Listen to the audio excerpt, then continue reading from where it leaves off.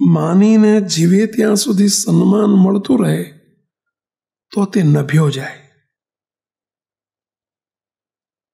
સત્સંગમાં પણ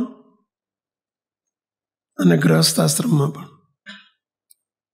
જેવું સન્માન બંધ થાય, ત્યારે સત્સંગ જરૂર છૂટી જાય. આપણને માન સન્માન મળે અને સત્સંગમાં એના આધારે ટકતા હોઈએ. આ દાદાપણું છે, દાસપણું નથી.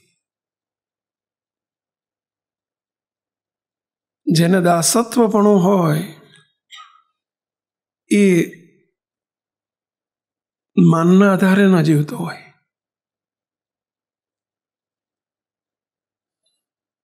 એ દાસત્વપણાના આધારે જીવતો હોય.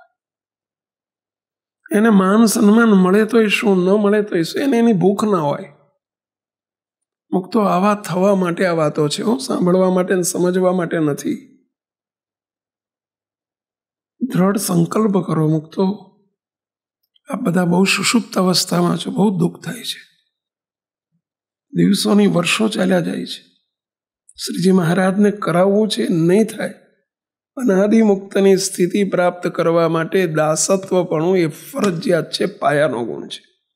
એના વગર સ્થિતિ થાય જ નહીં. મૂર્તિનું સુખ શક્ય જ નથી.